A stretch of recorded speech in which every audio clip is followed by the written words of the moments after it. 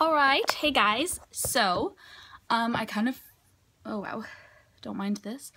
Um, so I kind of haven't really given you like very many updates updates, um, which is kind of what this whole channel is about, is to not just do singing covers and things like that, but to actually like update you on what's going on with like my musical career kind of thing.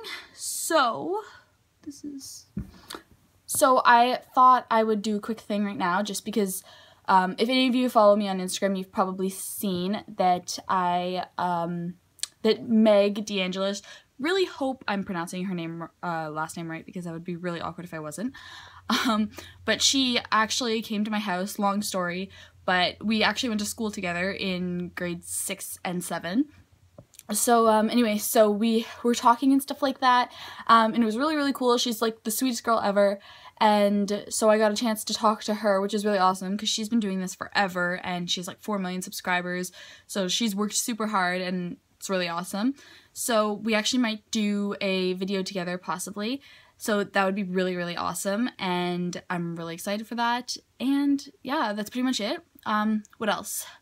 Oh yeah, so we, I ordered my first MacBook Pro, which is really exciting because my videos will be 10 times better now and I also ordered studio lights so I don't always have to stand in front of this window with this terrible background of my messy room and my bed.